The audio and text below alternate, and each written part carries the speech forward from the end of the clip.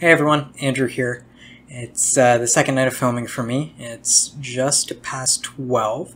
I usually wait until nighttime to film because it's less distracting, there's less going on, and I can really just focus on what's in front of me. So today's been a good day. You know, I've been working on a little video project that I want to take a stab at, so I've spent most of the day doing some recordings and stuff like that uh, off my computer. Um, but the subject that's been sort of plaguing my mind today is imposter syndrome, which I've definitely been dealing with these last few years, and I think all of us deal with at some point or another. So if you aren't familiar with imposter syndrome, it's basically this voice in the back of your head or this underlying thought that you don't deserve to be where you are right now. For example, say you just got a job or you just got hired at a new company or got promoted to a new role at work or took on a new portfolio, whatever the scenario is.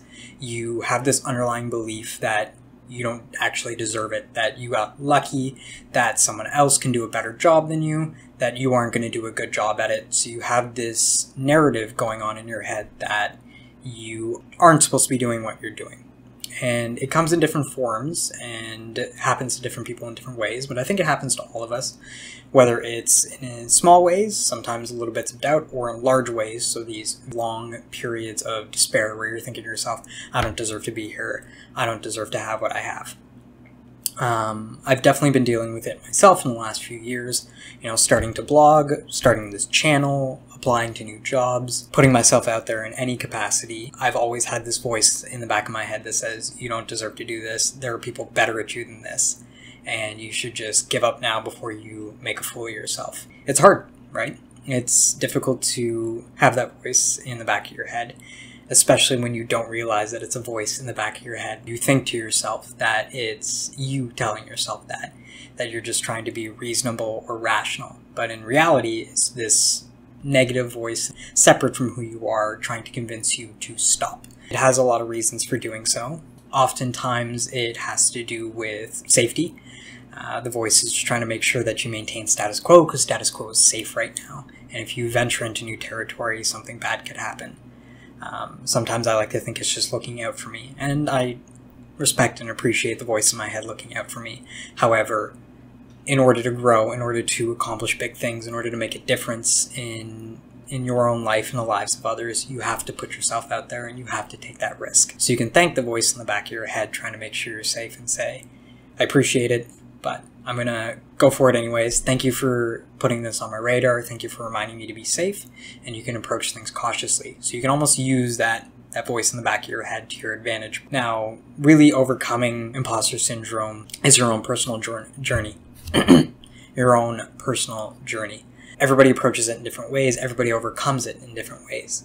What helps me manage my imposter syndrome is shifting what the focus is. What happens with imposter syndrome a lot is that we focus too much on ourselves. The voice says to us, You don't deserve to do this. Do you really think you're knowledgeable enough for this?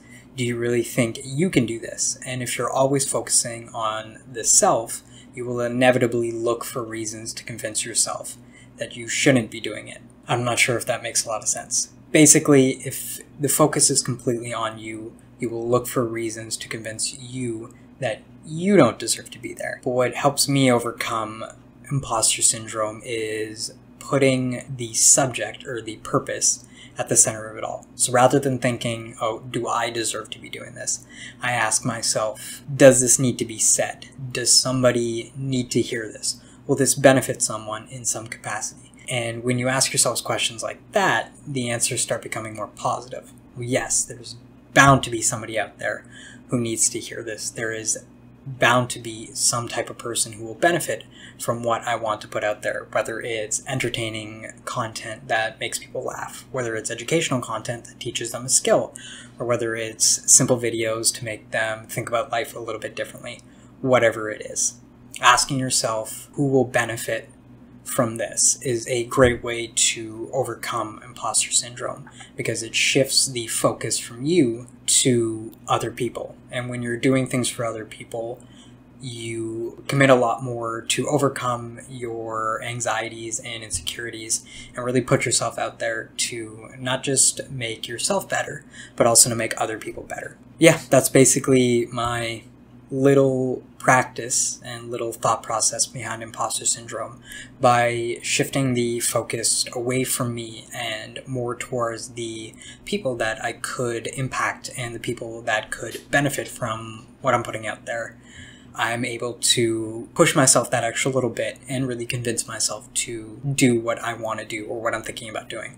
Like I said, I've done that for the jobs I've applied to, I've done that for making new friends, and I do that for this. Or actually, I've started doing that for this. So it's going to be a slow journey, it's going to be a painful one, and I definitely will second guess myself down the road. But by reminding myself that I'm doing this for other people to hopefully make their lives a bit better.